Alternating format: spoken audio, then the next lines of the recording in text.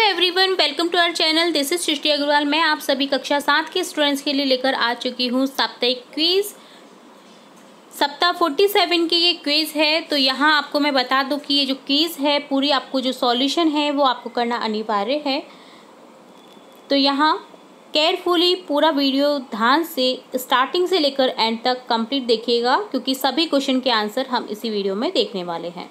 तो यहाँ स्टार्ट करेंगे क्वेश्चन फ़र्स्ट से. फ़र्स्ट क्वेश्चन है, हमारे घर के पास एक बड़ी सी गौशाला है, वहाँ पर बहुत सी गायें हैं। गौशाला में क्या होगा? गौशाला में क्या हो सकता है निम्न में से? बछड़ी, मेमनी, भैंस, घोड़े। तो यहाँ आंसर क्लिक हो जाएगा ऑप्शन फ़र्स्ट, बछड़ी।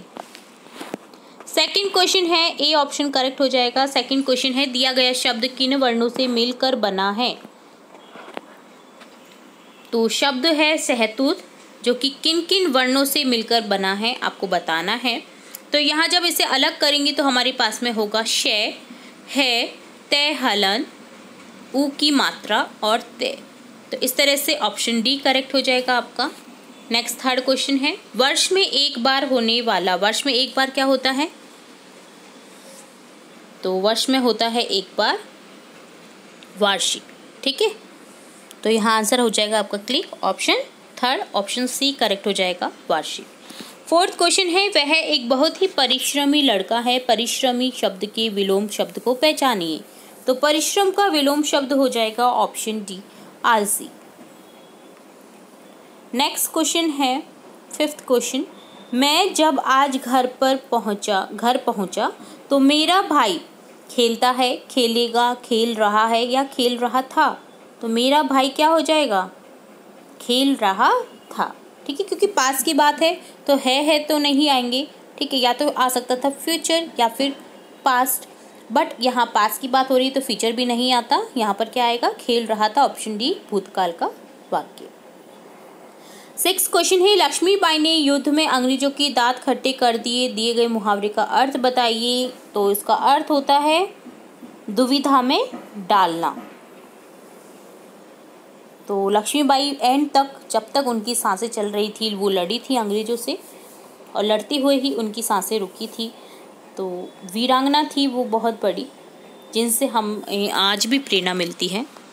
तो यहाँ पर हो जाएगा, दुविधा में डालना ऑप्शन बी करेक्ट हो जाएगा।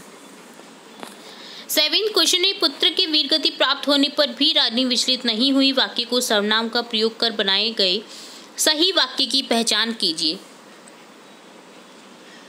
तो यहाँ सही वाक्य हो जाएगा। पुत्र के वीर गति प्राप्त होने पर भी वह विचलित नहीं हुई।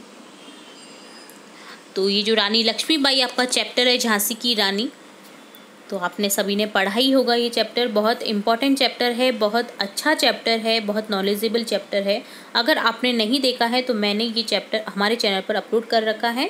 तो आप वहाँ से चेकआउट कर सकते हैं। प्लेलिस्ट से आप चेकआउट कर सकते हैं या फिर डिस्क्रिप्शन बॉक्स में लिंक दे दूँगी। तो वहाँ पर आप देख सकते हैं। तो चैप्टर्स को रीड करना बहुत अनिवार्य रहता है आपके लिए, क्योंकि चैप्टर्स अगर आपको समझ में आ गए हैं तो सभी क्वेश्चन के आंसर आप क्लिक कर देंगे आसानी से। तो बहुत अच्छे से समझाने की कोशिश की है मैंने चैप्टर को। तो आप देख सकते हैं हमारी चैनल की प्लेलिस्ट से।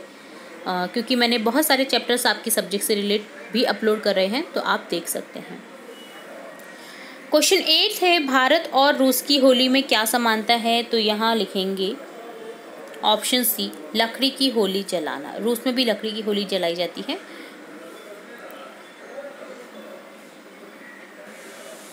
नेक्स्ट क्वेश्चन नाइन है थाईलैंड में लोग होली के दिन किसकी पूजा करते हैं? तो थाईलैंड में किसकी पूजा करते हैं लोग?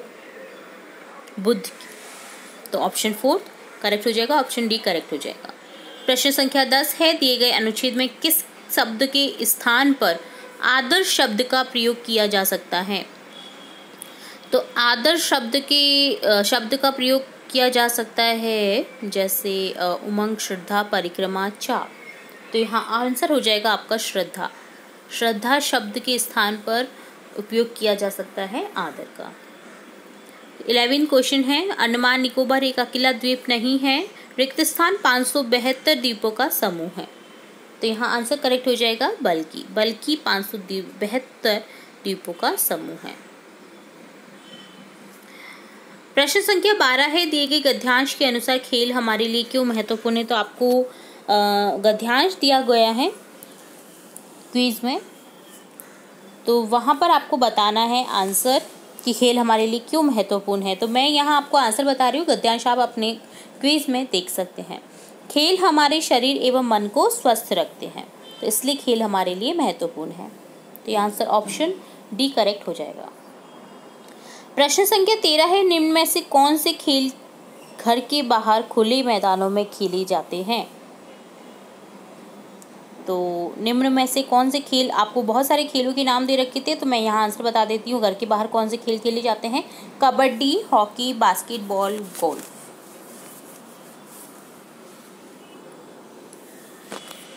Next है फोर्टीन क्वेश्चन निम्न में से कौन सा कथन खेलों के बारे में सही नहीं है?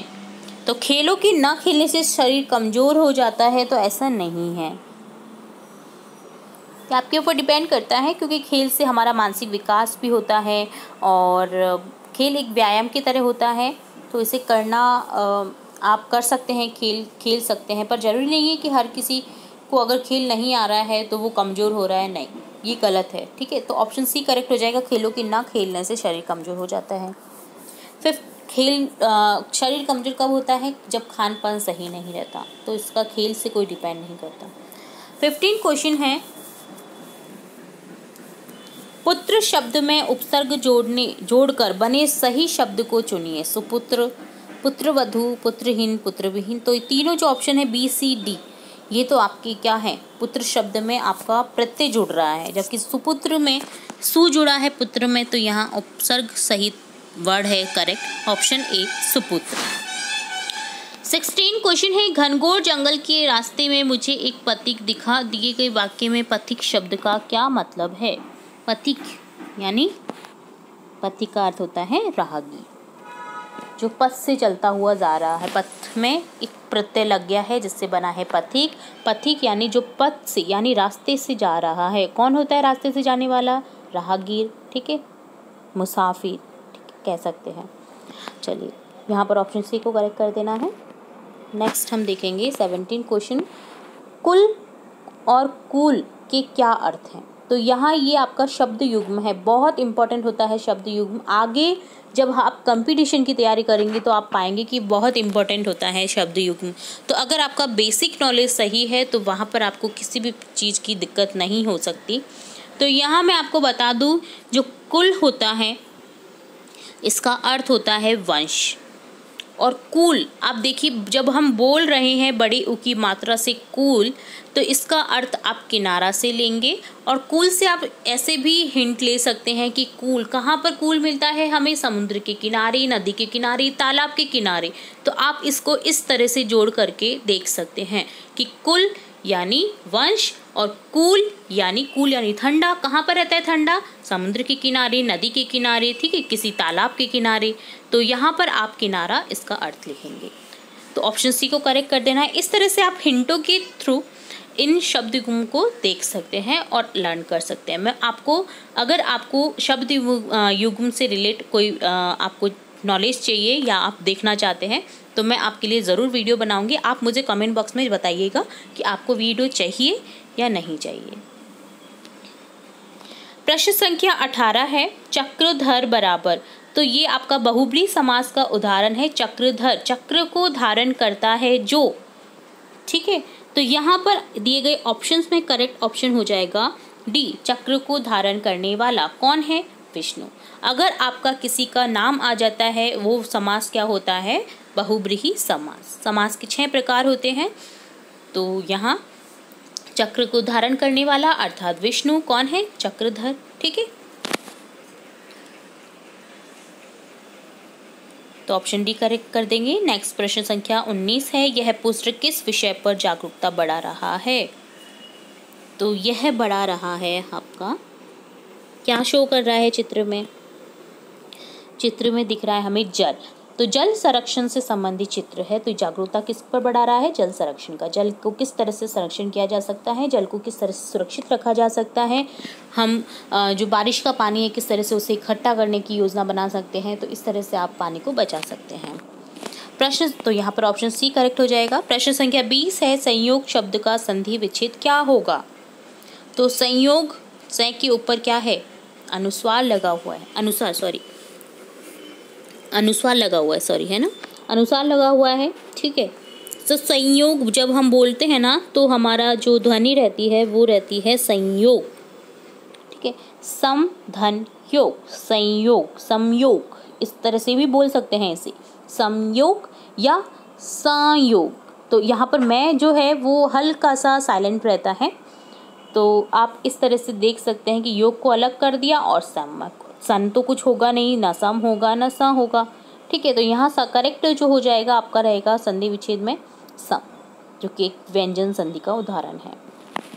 क्योंकि हमें हलंत आ रहा है तो व्यंजन संधि में व्यंजन से जुड़ कर के शब्द जो बनते हैं, वो होते हैं व्यंजन संधि के एग्ज़ाम्पल अगर यहाँ पर मैं पूरा होता तो ए और ओ मिल कर के अगर यो, ओ बनता तो जो स्वर से स्वर मिलान होता है, वो होता है स्वर संधि में। तो यहाँ ऑप्शन ए करेक्ट कर देंगे। प्रश्न संख्या इक्कीस है। दुर्घटना शब्द में आई उपसर्ग की पहचान कीजिए। अब आप बोल करके देखिए शब्द को, ठीक है? रिपीट करिए एक बार मेरे साथ में। दुर्घटना, आपको क्या सुनाई दे रहा है? दुर्घटना, दुर और घटना। अब यहाँ दुर क्या है? आपका अलग से दिखाई दे रहा है, घटना में जुड़ा हुआ। तो ये क्या है? उपसर्ग है। तो आप इस तरह से पहचान कर सकते हैं। सेंटेंस जो आपके शब्द होते हैं, उन्हें बोल करके। तो आपको फटाफट से पता चल जाएगा कि इसमें कौन सा उपसर्ग है। तो यहाँ हमें ध्वनि सुनाई दे रही है दुर। तो यहाँ पर हो जाएगा दुर, यानी आधा रह हो जाएगा दू में। तो यहाँ पर ऑप्शन सी करेक्ट हो जाना है आपका। ऑप्शन सी को करेक्ट कर देंगे दुर, जिसमें घटना को अगर लगा देते हैं तो बन जाता है दुर्घटना। प्रश्न संख्या बाईस है, धरती का स्वर्ग, श्रीनगर का अस्तित्व, डल झील, मर रही है। वाक्य में अस्तित्व शब्द का क्या अर्थ है? तो अस्तित्व यानी उसकी जो मौजूदगी है, जो उसका आधार है, ठीक है? मौजूदगी नहीं कह सकते, उसका आधार बोल सकते हैं आप। धरती का स्वर जो श्रीनगर है, उसका आधार मतलब वहाँ पर सबसे ज़्यादा फ़ेमस ही डल झील है। अगर वो ही मर जाएगी, उसका आधार बेस ही ख़त्म हो जाएगा तो उधर क्या रहेगा फ़ेमस तो इस तरह से आज का आज निकाल सकते हैं आप आधार से। तो ऑप्शन बी करेक्ट हो जाएगा यहाँ पर। प्रश्न संख्या तेईस है नीचे दिए गए विकल्पों में से किस विकल्प वाक्य में सही विराम चिन्ह लगे हैं?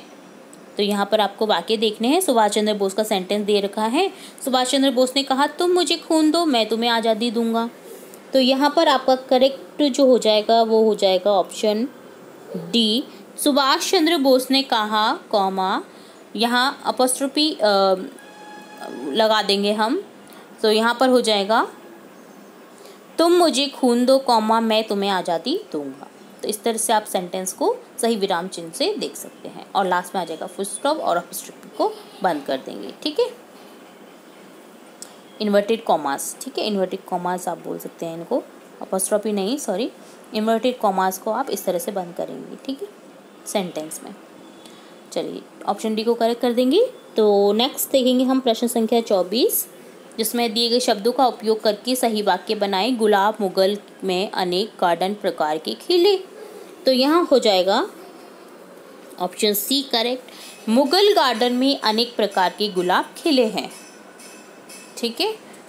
तो यहाँ पर लास्ट में है में बिंदी आ जाएगी और फुल स्टॉप लग जाएगा और इस तरह से बन जाएगा। मुगल गार्डन में अनेक प्रकार के गुलाब खिले हैं।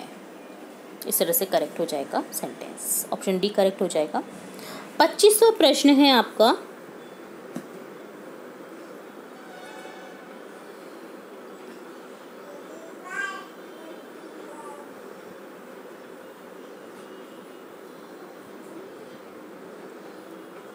तो यहाँ आपको समझ आ गया होगा। ऑप्शन सी, मुगल गार्डन में अनेक प्रकार के गुलाब खिले हैं मैंने गलत बोल दिया था ऑप्शन डी। सी ऑप्शन जो है आपका, मुगल गार्डन में अनेक प्रकार के गुलाब खिले हैं ये आपको करेक्ट कर देना है। नेक्स्ट पच्चीसवा प्रश्न है आपका, अगर तुम सूरज की तरह चमकना चाहते हो तो पहले सूरज की तरह चलना सीखो। अब्दुल कलाम इस विचार का क्या सार है? अब्दुल कलाम के जो ये विचार हैं, इसका क्या सार है? क्यों कहा उन्होंने ये सेंटेंस कि सफलता पाने के लिए पहले मुश्किलों का सामना करना पड़ता है। अगर मुश्किल ही नहीं रहेंगी तो हम सफलता के लिए प्रयास नहीं करेंगे और आराम से बैठे रहेंगे। अगर हमें मुसीबतों का सामना करना पड़ता है, तभी हम जाकर के बहुत मेहनत करते हैं और अपनी सफलता को पा सकते हैं। तो यहाँ पर इस सेंटेंस का ये सार है। तो यहाँ पर आपको हो जाएगा करेक्ट ऑप्शन सी करेक्ट हो जाएगा। ठीक है? चलिए नेक्स्ट देखेंगे। छब्बीसवा प्रश्न, पुस्तकें हमें ज्ञानी और बुद्धिमान बनाती हैं, क्योंकि वे क्या करती हैं? तो यहाँ आंसर हो जाएगा, विद्या का भंडार है, क्योंकि बहुत सारी विद्या हमें पुस्तकों के थ्रू मिल सकती हैं। तो यहाँ पर ऑप्शन डी करेक्ट हो जाएगा। नेक्स्ट प्रश्न संख्या सत्ताईस है ट्वेंटी सेवन है, दिए गए गद्यांश के आधार पर सूर्य से हमें कौन सी बात सीखने को मिलती है? तो यहाँ गद्यांश दिया गया है, जिसे आप रीड करें, अच्छे से देखें उससे रिलेटेड क्वेश्चन पूछा गया है कि दिए गए गद्यांश के अनुसार सूर्य से हमें कौन सी बात सीखने को मिलती है? तो यहाँ हो जाएगा ऑप्शन सी करेक्ट सुबह, जल्दी उठने की। अपना काम सुबह करने की, अपना काम समय पर करने की या दूसरों को रोशन देने की। तो यहाँ करेक्ट ऑप्शन करेक्ट कर देंगे हम ऑप्शन सी अपना काम समय पर करने की।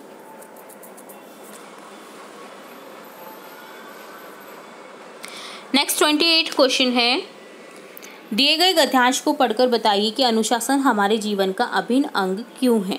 तो गद्यांश दे रखा है, जिसे आपको केयरफुली रीड करना है। इससे रिलेटेड क्वेश्चन पूछा गया है कि अनुशासन हमारे जीवन का अभिन्न अंग क्यों है। तो यहाँ आंसर हो जाएगा ऑप्शन बी करेक्ट क्योंकि अनुशासन का महत्व हर जगह होता है। तो इसलिए हमारे लिए जो जीवन है, हमारा जीवन है, उसमें अनुशासन का अभिन्न अंग होना ज़रूरी है। तो अनुशासन में रहना सबसे पहले हमारे लिए ज़रूरी रहता है। तो यहाँ ऑप्शन हर आपका करेक्ट हो जाएगा बी क्योंकि अनुशासन का महत्व हर जगह होता है।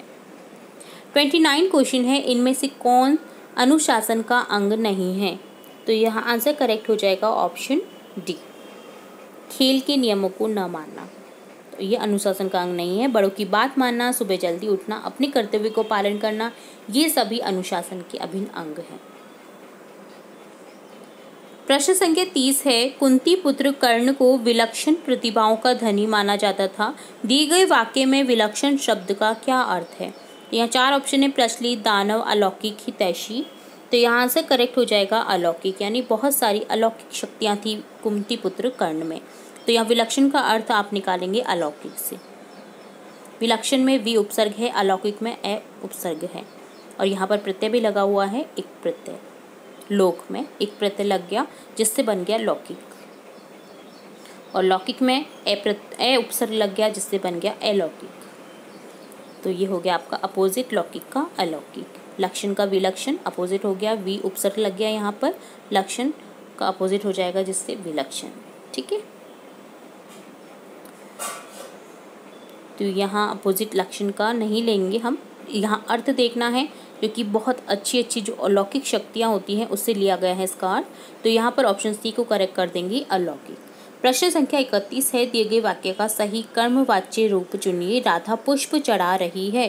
तो यहाँ पर कर्मवाच्य हो जाएगा राधा के द्वारा पुष्प चढ़ाए जा रहे हैं, जिसमें कर्म धारण कर रहा है जो सेंटेंस जिसमें कर्म क्या हो रहा है? राधा की द्वारा कर्म किया जा रहा है। क्या करा जा रहा है? कि पुष्प चढ़ाए जा रहे हैं। ठीक है? तो ये कर्मवाच्य का एग्ज़ाम्पल हो गया।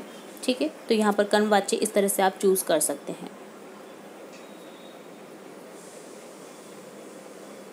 नेक्स्ट देखेंगे, बत्तीसवा प्रश्न है सीवी रमन का जन्म कब हुआ था? रमन जो सीवी रमन थे, मोहन महान साइंटिस्ट तो इनका जन्म कौन से सन में हुआ था आपको बताना है? तो यहाँ ऑप्शन डी करेक्ट हो जाएगा अठारह में। ऑप्शन डी करेक्ट कर देना है। नेक्स्ट प्रश्न संख्या तैतीस है। इस गद्यांश को आप किस श्रेणी में रखेंगे? तो आपको इस गद्यांश को रखना होगा तो कौन सी श्रेणी में आप रखेंगे इस गद्यांश को? तो यहाँ पर करेक्ट हो जाएगा आपका ऑप्शन ए जीवन चरित्र। क्योंकि जीवन के बारे में बताया गया है सी वी रमन की तो यहाँ पर जीवन चरित्र में रखेंगे हम तो ऑप्शन ए करेक्ट कर देंगे। प्रश्न संख्या थर्टी फोर चौंतीस है। लाइट स्कैटरिंग के क्षेत्र में सी वी रमन का सबसे बड़ा काम कौन सा है? तो यहाँ आंसर हो जाएगा आपका correct option D Raman effect की खोज। सबसे बड़ा उनका जो खोज है वो ये है रमन इम्फेक्ट की खोज। ऑप्शन डी करेक्ट कर देंगे। प्रश्न संख्या पैंतीस है। पाठ्यांश में सीवी रमन की शिक्षा के बारे में क्या जानकारी मिलती है? तो यहाँ आंसर हो जाएगा बी उन्होंने काफ़ी कम उम्र में मैट्रिक पास की। तो उनकी शिक्षा बहुत कम उम्र में हो गई थी। उन्होंने काफ़ी कम उम्र में ही मैट्रिक पास कर ली थी, यानी दसवीं की कक्षा की परीक्षा दे दी थी। तो पहले जो थी, दसवीं की कक्षा जो देते थे एग्ज़ाम देते थे तो वो सबसे महत्वपूर्ण हो रहता था। तो उनकी जो मैट्रिक की शिक्षा है, वो बहुत कम उम्र में हुई थी। तो इस तरह से आप इनका ऑप्शन बी को करेक्ट कर देंगे। और लास्ट क्वेश्चन है इस केस का, प्रश्न संख्या छत्तीस। समुद्र और आकाश के नीले रंग की वजह को रमन इम्फेक्ट कैसे समझाता है? तो ये आंसर करेंगे हम करेक्ट ऑप्शन डी सूरज की किरणों के पानी के परमाणु से गुजरने के बाद होने वाले प्रकाश के बिखराव की वजह से समुद्र और आकाश नीले दिखते हैं। इस तरह से कंप्लीट होता है कंप्लीट क्विज का सॉल्यूशन उम्मीद है आप पूरी क्विज का सॉल्यूशन अच्छे से समझ आया होगा. अगर आपको किसी क्वेश्चन में कोई डाउट रहता है तो आप हमें कमेंट बॉक्स में कमेंट करके पूछ सकते हैं. इसी तरह और भी क्विज हम देखते रहेंगे, और भी इंपॉर्टेंट वीडियोज़ आपकी कक्षा से रिलेट देखते रहेंगे. तो जुड़े रहिए हमारे चैनल के साथ वीडियो को पूरा देखने के लिए धन्यवाद.